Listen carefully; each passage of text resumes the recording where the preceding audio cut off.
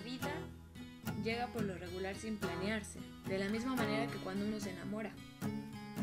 En la vida uno puede enamorarse de objetos, de actividades, de personas y esta última forma es la que nos lleva al cielo o al mismísimo infierno. Como ya había dicho antes, llega sin planearse. El cómo, el dónde, cuándo, quién. No podemos controlar todo. Allá arriba hay una fuerza suprema que decide todo esto. Sabiduría, llámese Dios, karma, destino o como desees llamarle, elige lo que es mejor para nosotros en el momento preciso.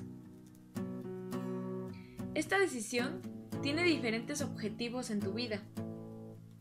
No solo traerá amor, sino también aprendizajes, conocimientos, hábitos, costumbres, recuerdos e incluso sea como una estrella fugaz que ilumina algo en ti y se marche.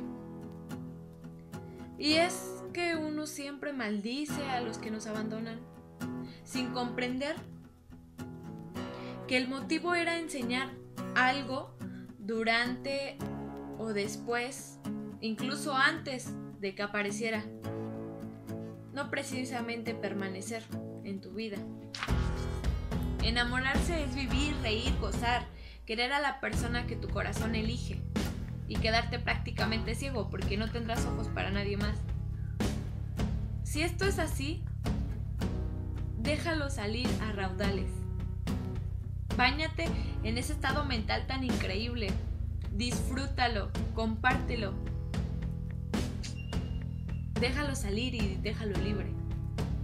Porque aun si tuvieses miedo de salir herido en este trayecto, corres el riesgo de perder a esa persona.